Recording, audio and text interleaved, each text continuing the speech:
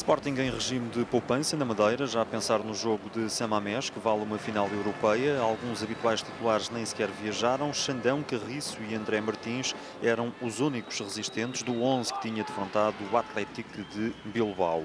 Com uma dúzia de minutos cumpridos na Chopana, o Sporting já estava a vencer. Golo do jovem avançado chileno Diego Rubio estreava-se assim a marcar em partidas oficiais pelos verde e brancos.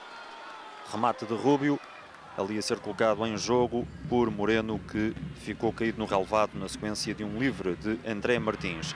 Aqui já uma resposta do Nacional, com um grande corte do central norte-americano Oniel, que voltou à equipa após lesão neste desafio.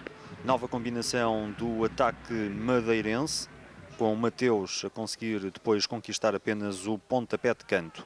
Pouco para lá da meia hora, 2-0 para o Sporting, num remate de fora da área de Renato Neto. Outro golo de um jovem leonino, neste caso o médio brasileiro, também mais uma estreia a marcar na Liga pelos Leões.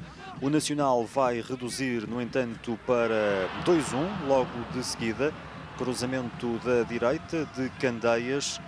Mateus aproveita que a defesa do Sporting não consegue interceptar esta bola pelo ar.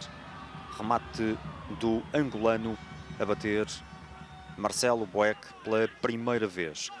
A segunda parte começa com uma má notícia para o Sporting. Expulsão de Diego Rubio.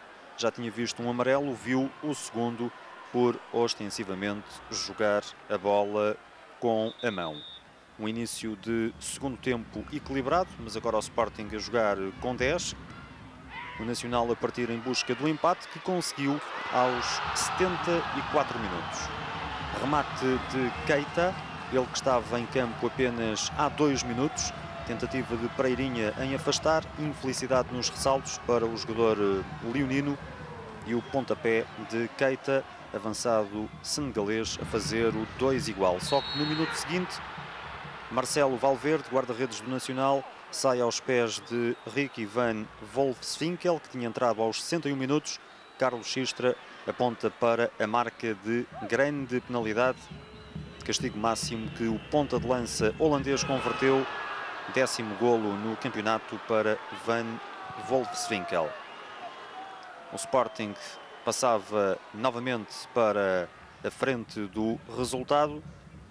Este é um lance que motivou muitos protestos dos homens da casa, reclamando um corte com o braço na área por Xandão.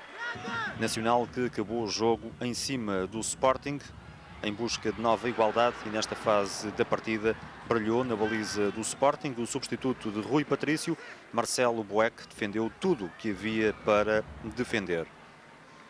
O Sporting sai assim com uma vitória da Chopana, uma vitória que deixa os Leões a 6 pontos do terceiro lugar, ocupado pelo Braga, e com mais 5 pontos que o atual quinto classificado, o Marítimo.